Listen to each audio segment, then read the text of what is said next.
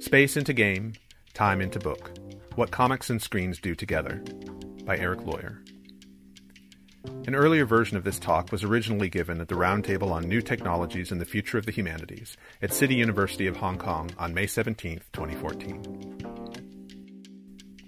A comic on a screen is a curious and confounding thing, and it's taken a lot of experimentation, thought, and plain old trial and error to see past the screen's first tantalizing promises to bring sequential art to life. Today, we're developing a more mature understanding of what comics and screens can do together, and with this talk, I hope to shed some light on where we are, how we got here, and where we might be going. In the last chapter of his 2000 book, Reinventing Comics, Scott McCloud speculates about the future of comics on screens. He begins by recalling the definition of the medium he himself penned in his landmark work, Understanding Comics juxtaposed pictorial and other images in deliberate sequence. This definition was designed to be applied not only to the newsprint books we might pick up in a comic shop, but also to a wider range of forms spanning human history through which comics have mutated. In reinventing comics, McCloud seeks to strip that definition down even further, with the goal of allowing the essence of comics as much freedom as possible to continue to mutate in the world of digital screens.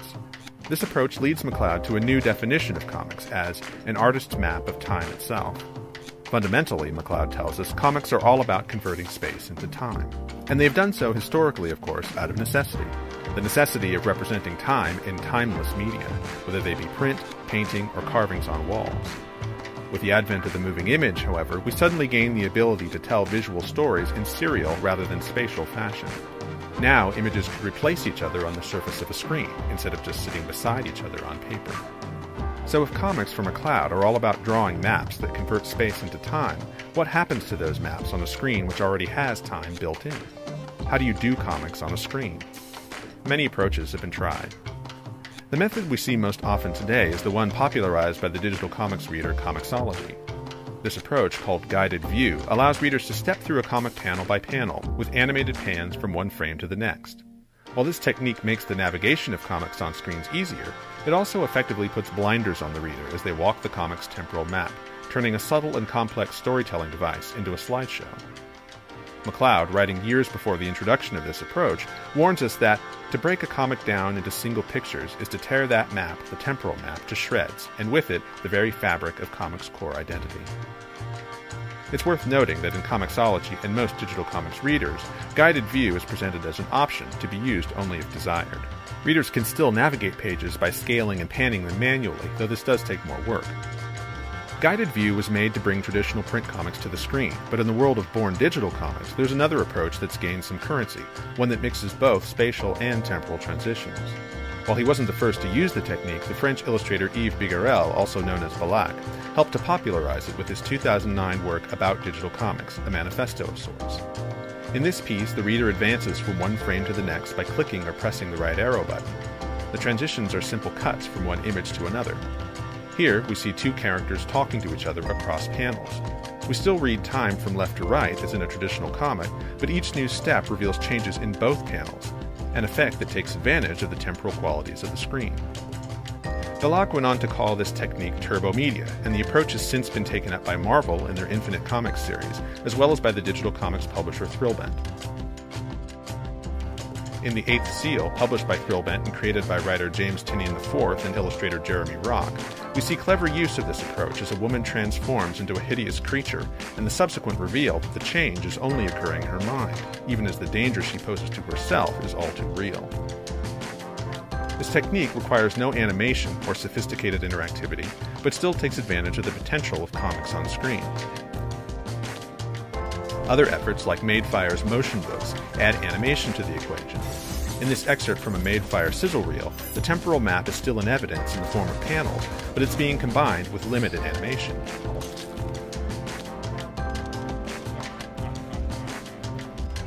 Yet another technique seen in these cutscenes for the 2005 video game Ultimate Spider Man uses a combination of 2D, 3D, and full motion animation in one of the more intricate adaptations of comic visual language for screens to date. This is the point, however, at which many comics fans start to get nervous, when parts of comics' temporal map begin to be overtaken by animation. This anxiety peaks when the map is collapsed entirely in a format called motion comics, one of the best known examples being an adaptation of Alan Moore and Dave Gibbons' Watchmen, released in 2008. This is an extreme approach, one which effectively turns the comic into a minimally animated movie. Audience response has been predictably polarized. Quality is one reason. Motion comics often take artwork which was never designed to move and puppeteers it far beyond its limits.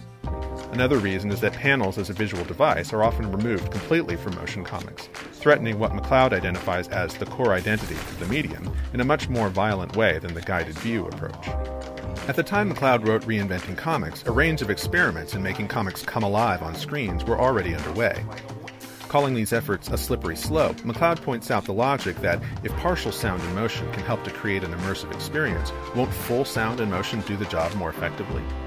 One of his concerns is that readers of such works will find the persistence of comic panels and their temporal mapping no more than an annoying affectation, exactly how many responded to the use of split screen techniques in Ang Lee's film Hulk. In About Digital Comics, Balak, in explaining the interface for the work, points out that he, the reader, clicks to see what's next, with no fancy gimmicks coming from the temporal world to ruin the experience. In both cases, we see a strong bias against introducing temporality into comics.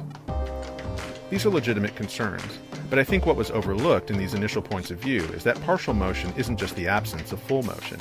It has aesthetic and expressive qualities of its own, qualities that animators have been exploring for a long time, qualities that most motion comics ignore, and qualities that are remarkably durable, even in the face of high resolution movement.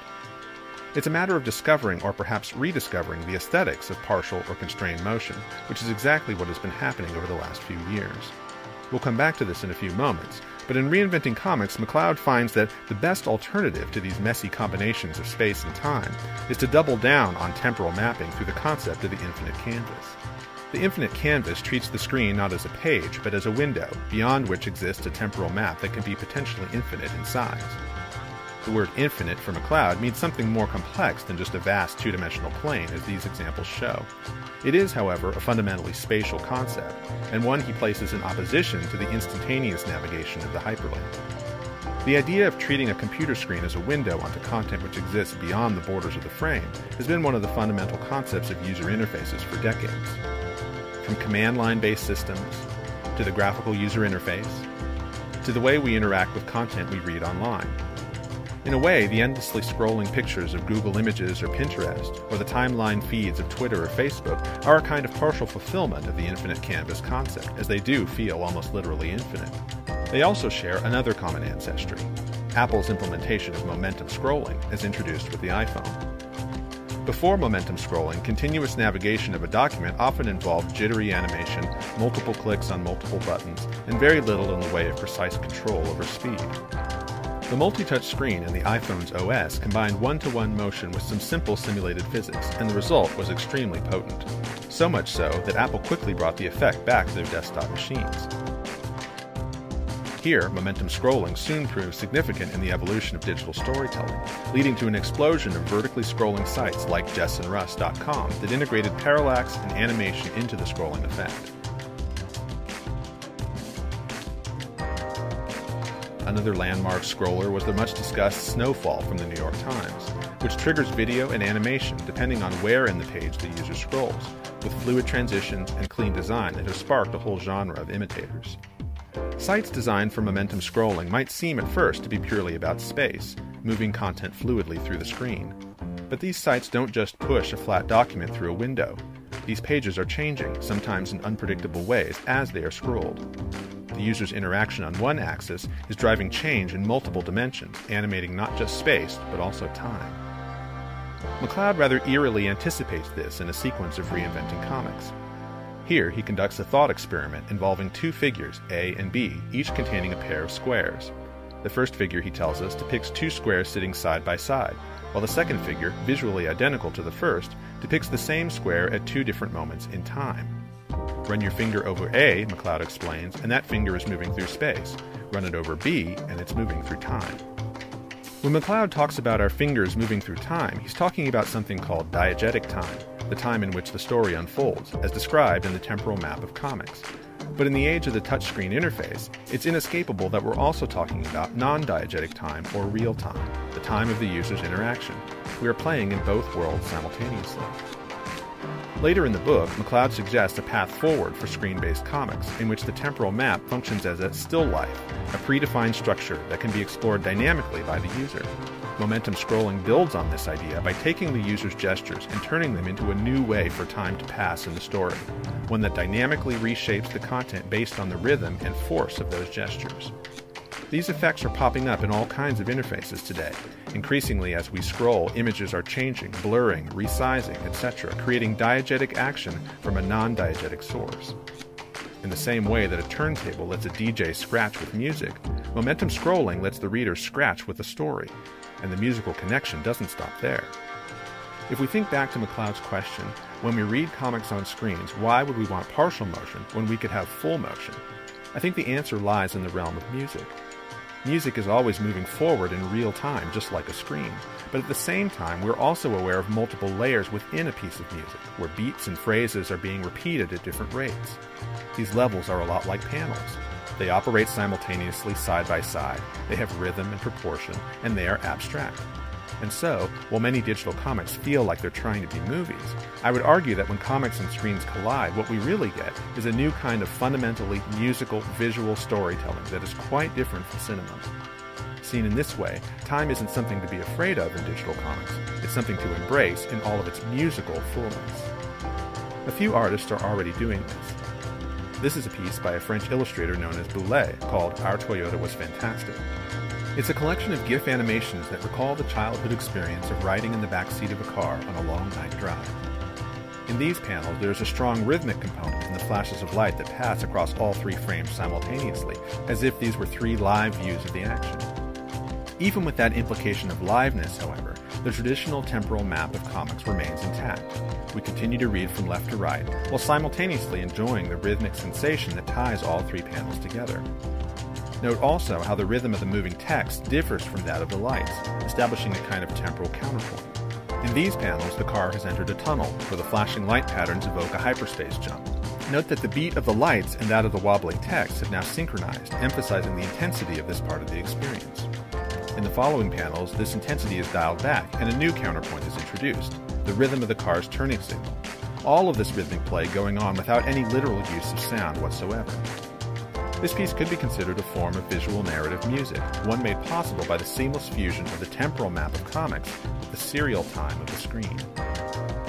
When we combine the aesthetics of partial motion with the visual language of comics, some new rules start to emerge. If we're still relying on spatialized panels to map the progression of time, then time within any one panel can only be allowed to progress so far. And when we talk about constraining time in an aesthetically pleasing way, we're naturally led to the concept of the loop. Loops, of course, are extremely musical. Near the end of the book, The Language of New Media, in a section entitled The New Temporality The Loop as a Narrative Engine, Lev Manovich draws a parallel between early cinema's reliance on loops and the same phenomenon as it appeared in early consumer digital video. Manovich suggests that early stage media technologies tend to rely on loops because they are easier to process. And certainly we've seen this pattern repeat itself in mobile media with the advent of the loop video clips called vines. Manovich notes that traditional cel animation often makes use of loops for specific repeated motions, and, we might add, at a variety of frame rates, a great example of partial motion that doesn't inherently lead to a desire for full motion.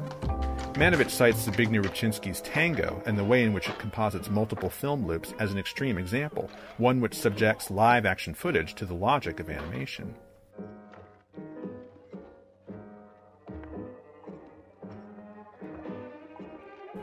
Another significant example we could cite are the films of Godfrey Reggio, films like Koyaanisqatsi and their sequels, which are noted for the compression and expansion of time. While Koyaanisqatsi doesn't rely on literal loops of film, it does rely on repetitive motion, and in that way it's perhaps even more relevant to digital comics. The type of repetition we see in Koyaanisqatsi's shots could be described as algorithmically repetitive. What we're seeing is a process producing a tightly constrained set of visual possibilities, even though no two frames of a given shot are identical. In a similar way, loops in a digital comic don't have to be literally repetitive, they need only represent a state of the story over a limited range of time. Traditional comic panels have always done this. Screens just give us a few more tools to achieve the effect. In this scene from Upgrade Soul, a digital comics collaboration between myself and writer illustrator Ezra Clayton Daniels, we play with loops in a different way. Here, a hospitalized character receives a visitation that leads to panic, and the beeps of her EKG are used as a looping musical component. Since, as the sequence proceeds, we often have two panels on screen representing the beeps, we use that as an opportunity to create rhythmic interaction between the loops across panels.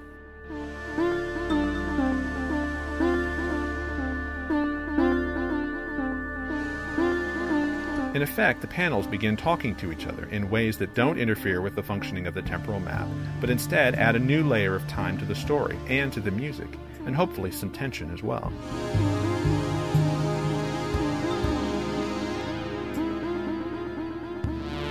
Right after the section on loops in Manovich's The Language of New Media comes a section about spatial montage, or split screen, and how the windows of our graphical user interfaces make way for what Manovich calls a new cinema in which the diachronic or serial dimension is no longer privileged over the synchronic or parallel dimension.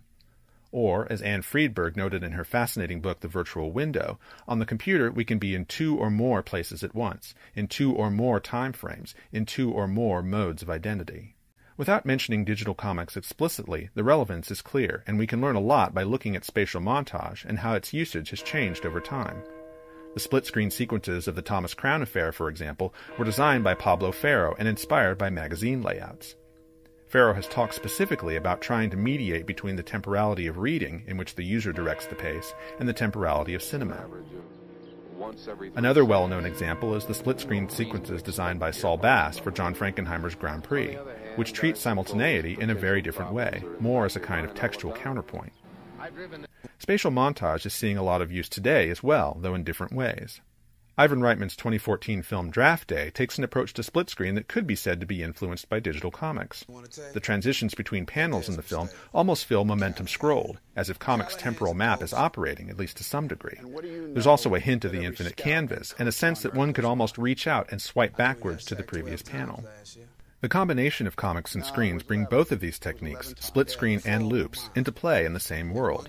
Split screen turns space into a game, a playful system for showing relationships between people and things.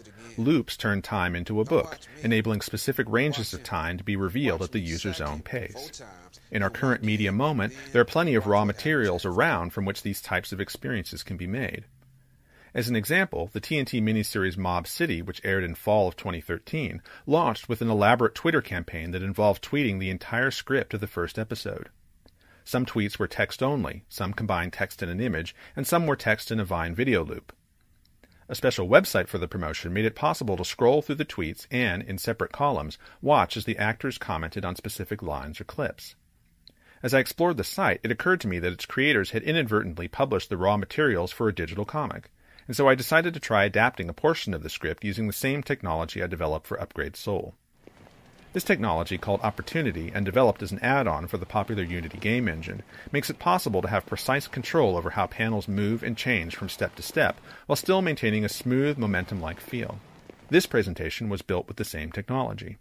You can see here the first scene of the Mob City script, reformatted as a new digital comic that combines the images and looped Vine videos with the text of the tweets appearing as captions. What I wanted to show with this experiment is that the Mob City promotion in its original form actually already was a digital comic, a temporal map spatially juxtaposing vignettes of time, and that, in fact, digital comics are already all around us in the media landscape, whether we call them that or not. Reality shows, video games, websites, all are finding their own ways to combine the spatialized temporal map that McCloud identifies as essential to comics with various forms of serialized time, including time driven by the user's gestures. I want to end this presentation by showing a recent experiment that gets at some of the territory I'm personally interested in exploring with digital comics. This is a video I shot back in 1992 with my first video camera of me walking around a lake in my hometown. This is a video I shot in 2014 of me walking around a lake in the city where I live now. I've added a third panel, an interactive panel that prompts me to use my fingers to take steps. Each virtual step I take animates the motion of the other panels, first of the older footage, then of the newer footage, and then both of them together, synchronized. Here, we're seeing a temporal map that fuses both serial and parallel forms of time, that makes use of rhythm and musicality, and perhaps hints at a story yet to be revealed. What are we walking away from? What are we walking towards? These answers remain to be discovered. Thanks for listening.